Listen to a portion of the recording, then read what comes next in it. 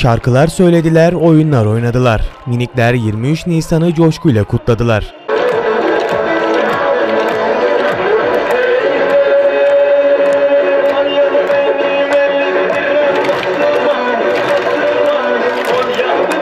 Kütahya'daki 23 Nisan Ulusal Egemenlik ve Çocuk Bayramı kutlamalarının bir diğer adresi Cumhuriyet İlkokulu oldu.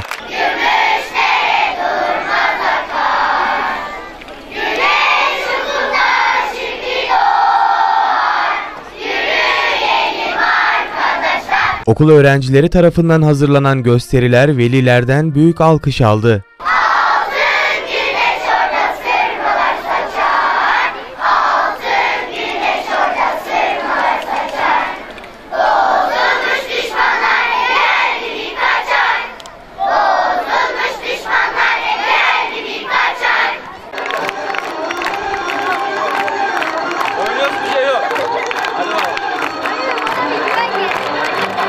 Türkiye Büyük Millet Meclisi'nin açılışını simgeleyen gösteri ise duygusal anlara sahne oldu.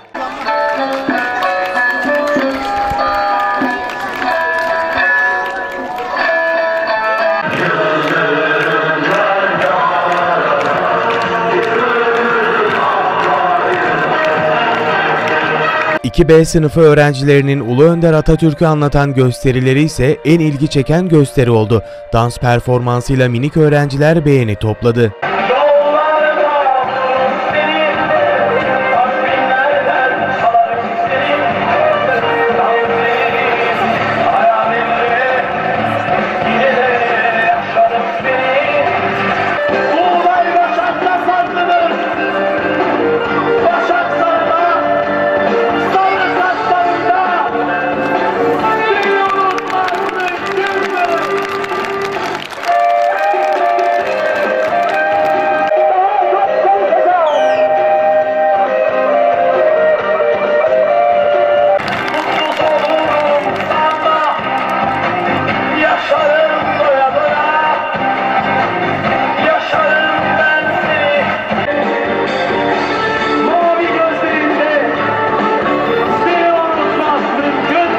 Programda konuşan okul müdürü Süleyman Özbay 23 Nisan'ı şu sözlerle özetledi. 23 Nisan bağımsızlıktır.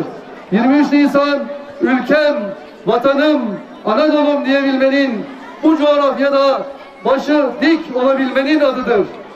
23 Nisan bu ülke topraklarının her karışında vatan nöbeti tutmanın adıdır. 23 Nisan sokağa özgürce çıkmanın, öğretmen olmanın, doktor olmanın, avukat olmanın adıdır. 23 Nisan bayramdır. Coşkusunu hala kavratmaya çalıştığımız, çalışmaya da devam edeceğimiz, sahip çıkmamız gereken koskoca bir mutluluğun, umudun, yarınların adıdır.